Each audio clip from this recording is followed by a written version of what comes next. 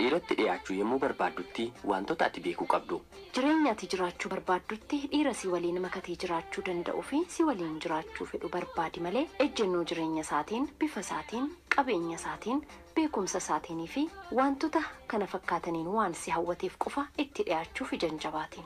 Namni ilaalcha uumamaan qabuun alatti haalonni isaa kanneen biroon dhiibbaa yeroo fi bakkaatiin kan jijjiiramuu danda'u waan ta'eef ulaagaa filannoo keetii ta'uu hin qabu.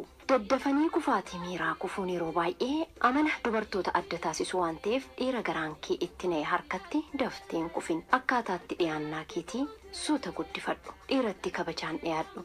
Fuula seeqaatti agarsiisaa yeroo xiqqoodhaaf of qabaa. Ija isaa keessa xiyyeeffattee yoo laalte suuta suutaan mo'amaa dhufee harka kee keessa siif seenuu ni danda'a. Nama jaallattu sanatti akka jaallattu mul'isuuf fedhii isaa eeguudhaan quunnamtii saalaatiin alatti jechuudha. Yeroo baay'ee isa waliin yeroo dabarsuuf haalota mijeessuudhaan ibsiif. Itti dhiyeenyi keessa obboleettummaa osoo hin ta'in gaa'ilaan waliin taatee jiraachuu kan barbaaddu ta'uu kee tooftaa barbaachisaa fayyadamuudhaan itti agarsiisi. Kunis kaadhimaa isaa ta'uudhaaf yeroo murteessitee eegaltee ergaa jaalala keetii dabarfachuu danda'uuf karoora kee fi miira keessa isaatii beekuudhaaf baay'ee si fayyada.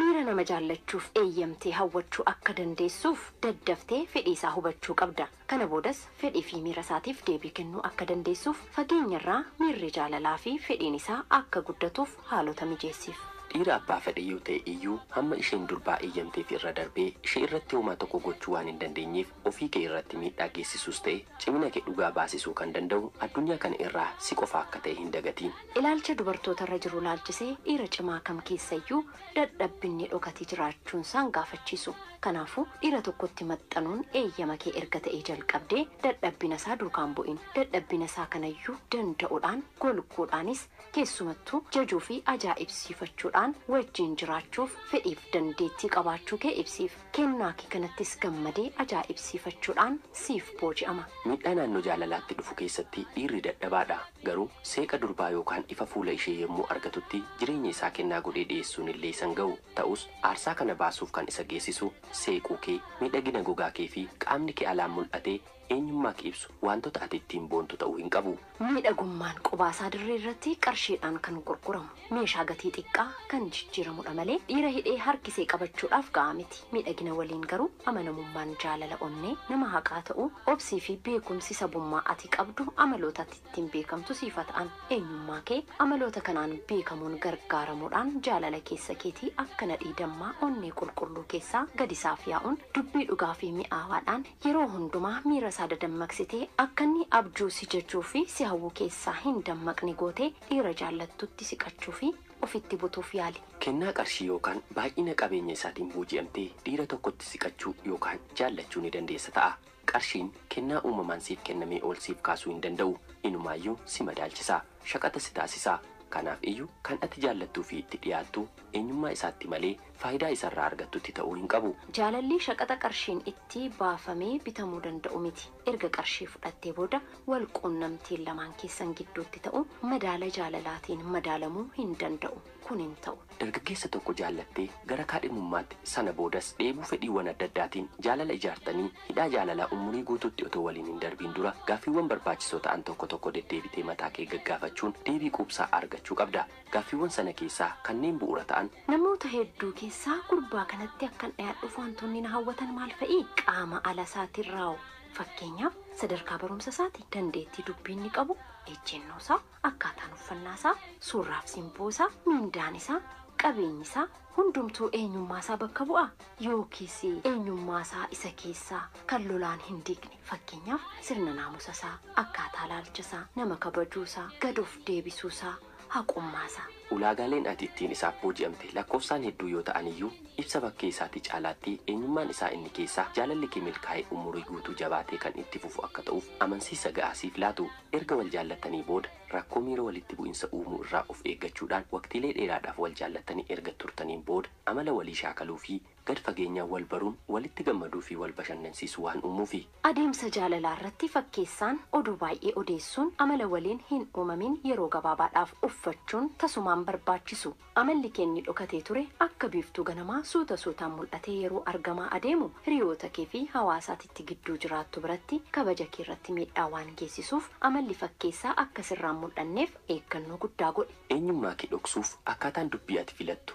jechoota filannaan kee akkaataa uffannaa kee fi gochawwan kumaan lakkaa'aman cimina kee agarsiisuudhaan yoo mul'atan illee dhugaan jiru waqtiilee fi bakka isaanii eeggatanii bakkeetti ba'uu ni nafu. Kunis umurii hawaasaa wajjin jiraachuuf siif kenname qopummaa fi gaddaan akka ati dabarsitu si taasisa. Keessumattuu eenyummaa keessa dhokatee ture yommuu hubatu dhiirri jaallatee si fuudhuuf murteessee ture waa'ee keetiif keessa isaatii iddoon inni qabu kan nama jibbisiisu ta'a.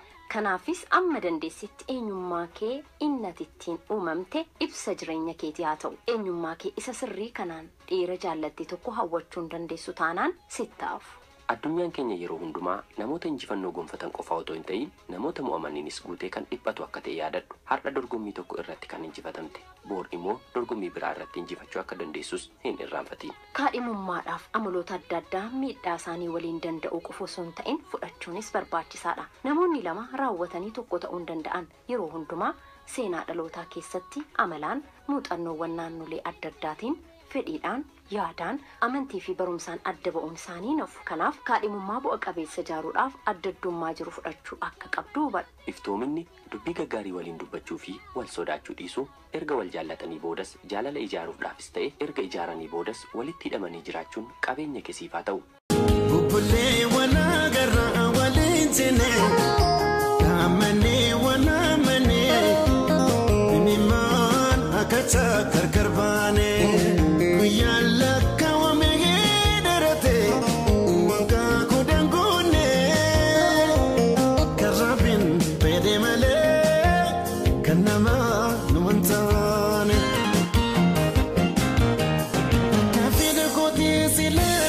naftee silaanii naftee Sakee kalleen turuun siingar garbee siingar garbee Otoo kallattii barreessu dandee baraaru dandee Seefera kophatee ta'ee seetaasee ta'ee seetaasee.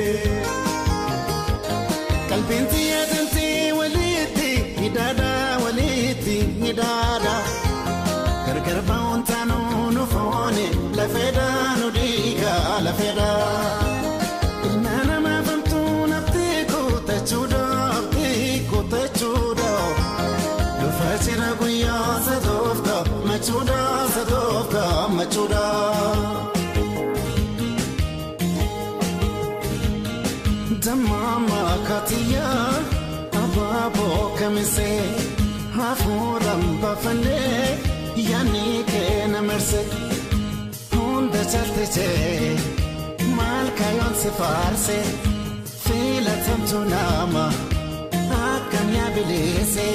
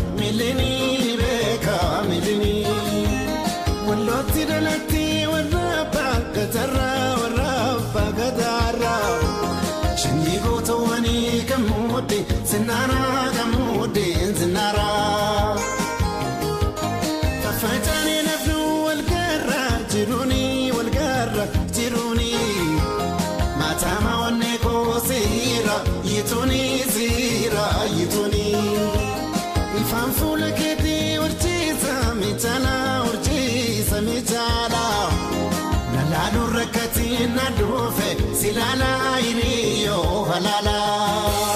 Otuudhaan dhagahee qilleensa dubbata waldaa yaafi kalluu gidduu kana jirtu.